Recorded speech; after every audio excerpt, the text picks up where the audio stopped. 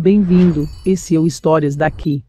Chefe do tráfico na Rocinha e bandido mais procurado do Rio, Erismar Rodrigues Moreira, o Bentivi, de 29 anos, foi morto na madrugada de ontem, dentro da favela, na Zona Sul, em uma troca de tiros com a polícia.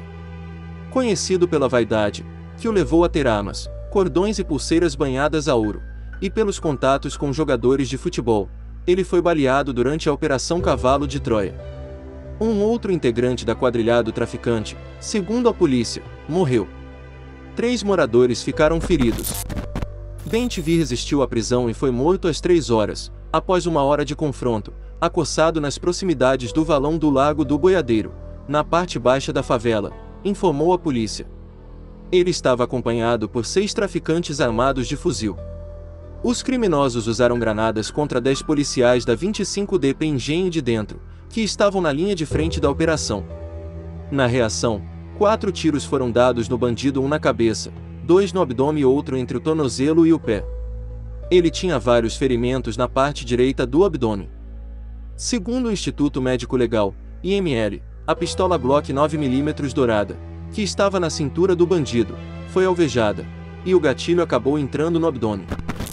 Durante o tiroteio, o túnel Zuzuendio, que liga a zona sul à barra, na zona oeste, permaneceu fechado e às escuras. À tarde, o túnel voltou a ser fechado. O coordenador da operação, delegado Luiz Antônio Ferreira, da 25DP, disse nunca ter visto tantos disparos.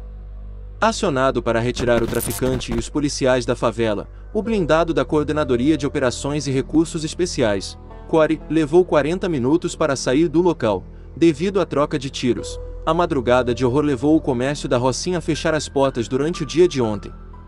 Uma faixa preta foi colocada em uma das entradas da Rocinha, ocupada por 30 PMs. Moradores viveram momentos de tensão.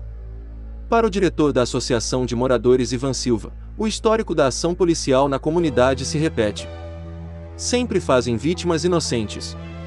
Chefe da Polícia Civil, o delegado Álvaro Lins revelou que Bentivi estava sendo monitorado havia quatro meses, em uma investigação que reuniu cerca de 200 homens.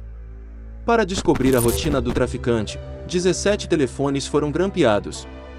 Um imóvel próximo ao local onde ele costumava circular foi alugado. Ben TV chegou morto ao Hospital Souza Guiar, no centro. Virem membro do canal por apenas R$ 2,99. Histórias e vídeos novos todos os dias com imagens exclusivas que garanto que dificilmente você já viu.